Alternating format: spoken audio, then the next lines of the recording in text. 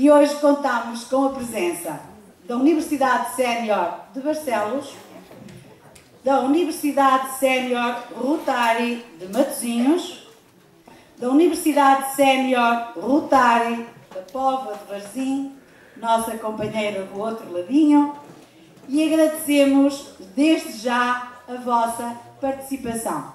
Bem-haja que tenham aceito o nosso convite. Saudamos ainda a senhora Presidente da Junta de Freguesia de Vila do Conde, que neste momento não se encontra cá, mas com certeza que chegará ao pé de nós, os membros da direção da Associação de Solidariedade Social, o Teto, aos membros do Conselho Pedagógico e Consultivo do Clube Sénior de Vila do Conde. E ainda aos familiares e amigos dos elementos do grupo coral. A todos, muito obrigado pela vossa presença. Para vos receber e dar as boas-vindas, eu chamo ao palco o presidente da Associação O Teto, o professor Joaquim Amorim Costa.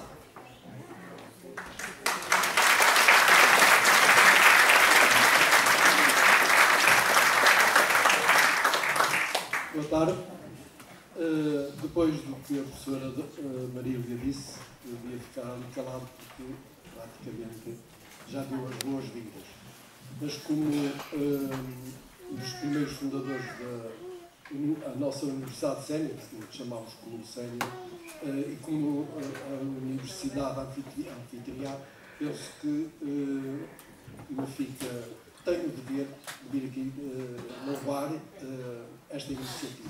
Mas das coisas que me têm entusiasmado uh, nas universidades uh, sénior é precisamente este convívio que de vez em quando, ou muitas vezes, acontece pelo país fora. Por isso, louvo uh, as três universidades que hoje aceitaram conviver connosco em Vila de Conte. De certeza que vão gostar de estar aqui, porque uh, já estiveram. E é bom que continuemos uh, a partilhar uns com os outros. Porque assim também damos o exemplo aos, mais novos, como os séniores são capazes de dividir, de partilhar. De maneira que a todos desejo uma boa tarde e uh, que de facto saiamos todos daqui mais unidos, mais com vontade de comungarmos mais este tipo de atividades. Boa tarde.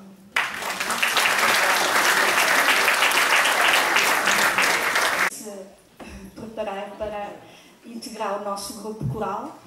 O Clube Sénior de Vila do Conde nasce assim por iniciativa da Associação de Solidariedade Social O Teto, que desenvolve trabalho na área social desde 1974 e junto dos séniores desde 1993.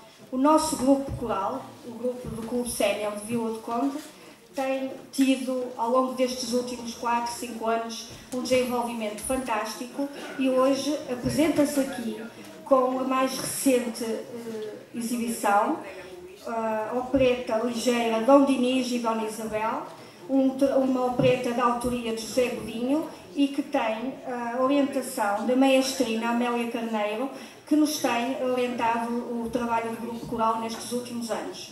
Vamos assistir é um espetáculo interessante, conto com a vossa participação.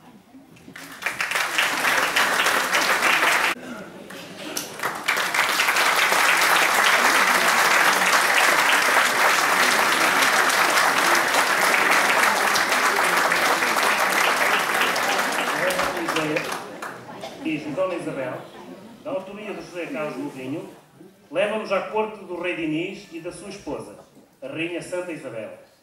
Aqui são apresentados as principais obras deste rei e os não menos lendários milagres da Rainha Santa, tendo por base uma forte mensagem de apelo aos valores de entreajuda, de solidariedade, de valorização e dignificação dos pequenos gestos, que, a par dos grandes feitos governativos e políticos, são fundamentais para ouvirmos e descobrirmos a rosa que há em nós. Essa força tão necessária para enfrentar todos os problemas as lendas e os factos aqui narrados serão apresentados por quatro grupos de personagens. apoiados por um narrador ao longo de toda a obra, que passamos a apresentar as aias de Dona Isabel, os páginas de El Rei Dom Dinis, povo, povo pobres e, mendigos, Suas Majestades El Rei Dom Dinis e a Rainha Dona Isabel, Dado que esta obra é um todo, agradecemos que guardem os vossos aplausos para o grande final, no qual todos os personagens, a uma só voz, nos remetem para a rosa que há em nós. Senhoras e senhores, estão convidados para esta viagem musical pela nossa história.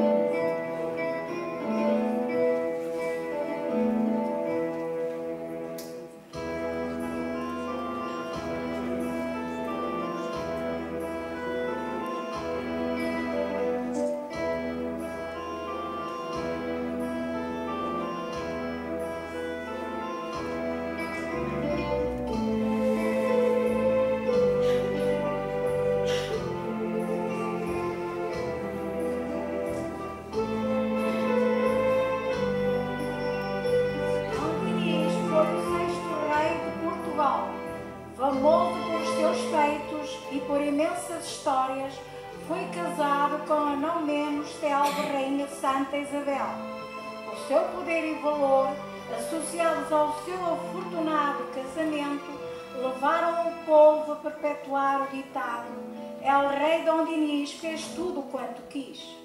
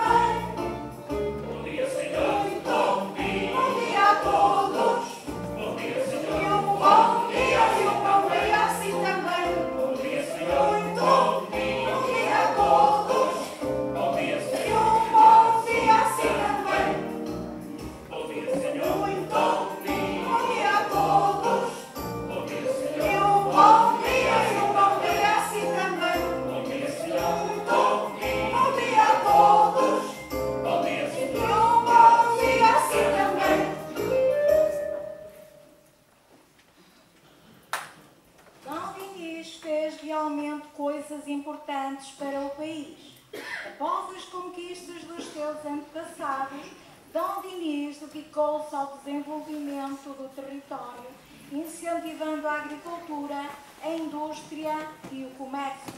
deve-se também a ele a criação da primeira universidade, que é hoje a Universidade de Coimbra.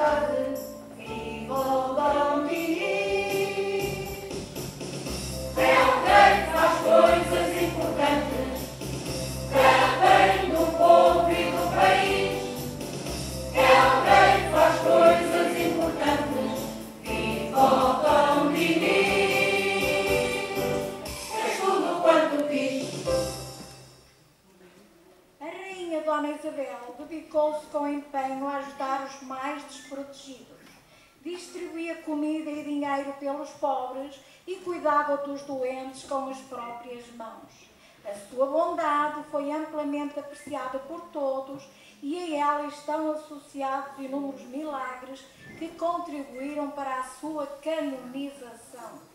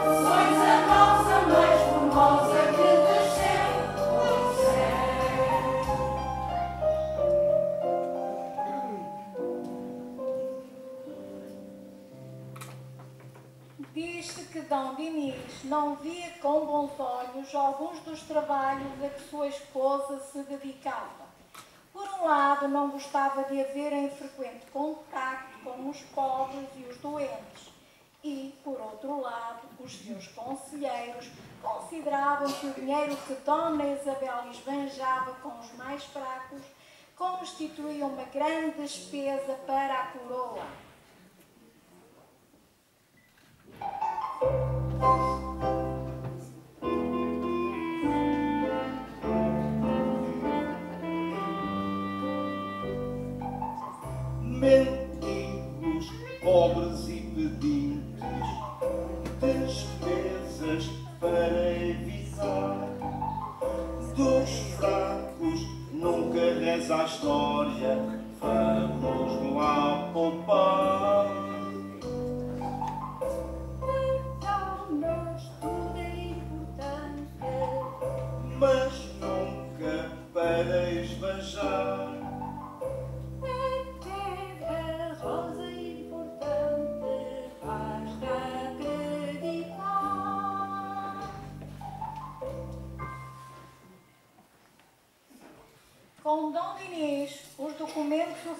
até então escritos em latim, passaram a ser todos redigidos em português, valorizando assim a língua do seu país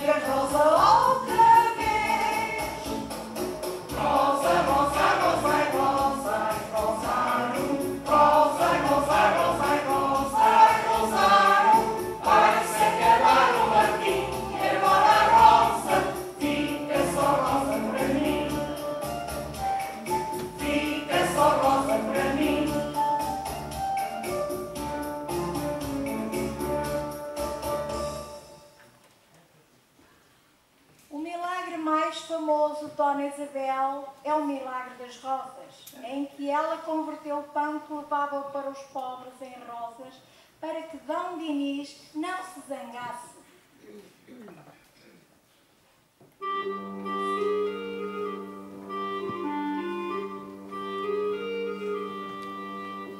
Bom dia, majestade, ainda é madrugada, para onde partis? Esse ato curioso deixa curioso, é o rei Dom Dinis. E nesse seu vestido vem algo escondido. O que é que é? Vá lá, minha senhora, estás tão caladinha.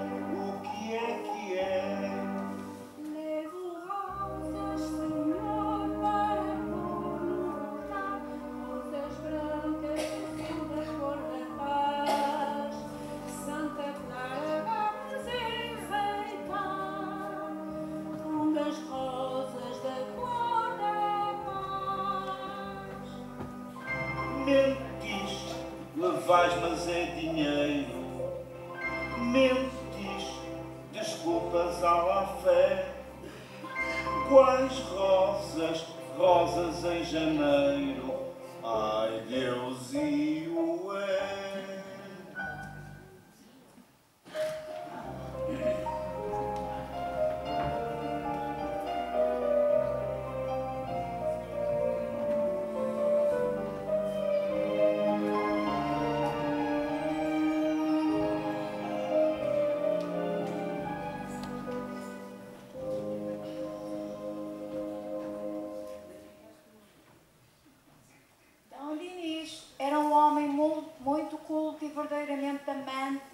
protetor das artes.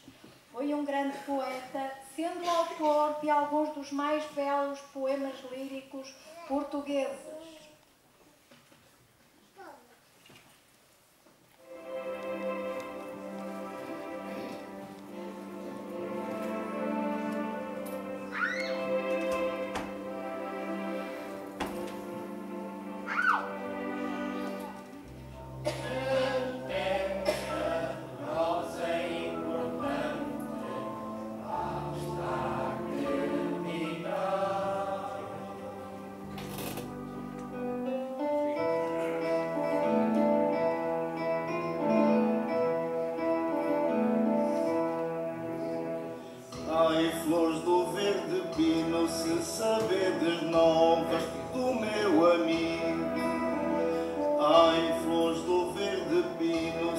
saber desnova.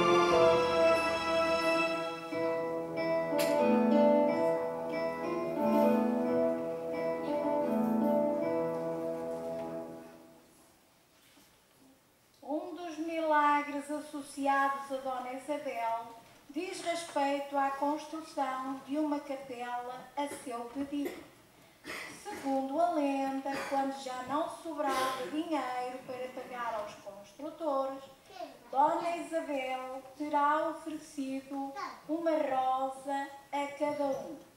Por respeito, os construtores aceitaram a rosa sem comentários.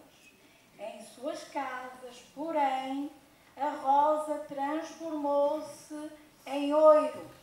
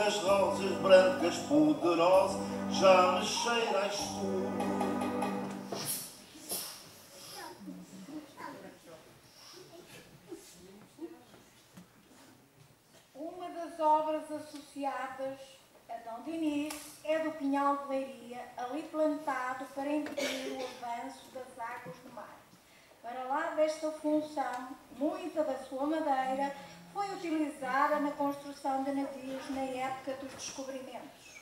Naturalmente, um fogo aqui significaria um prejuízo de grande dimensão.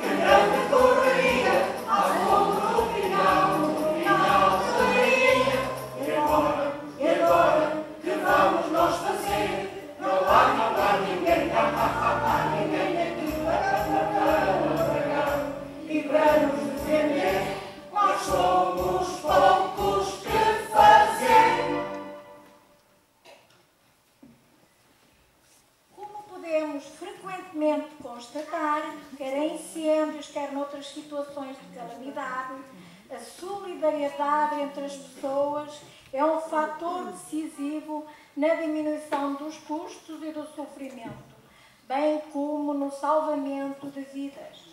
Nestas alturas não há forte nem fracos e todos nós somos importantes.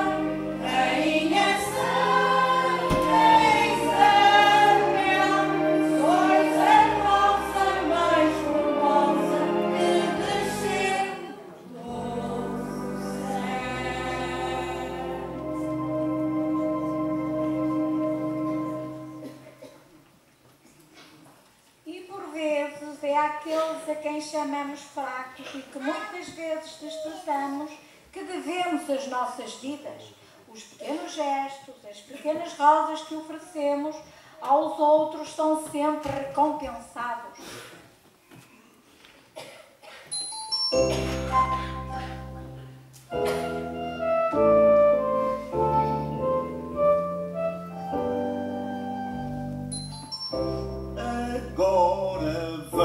Com clareza que a força está dentro de nós, que tudo, tudo é importante, basta ouvir a voz da força que há em nós.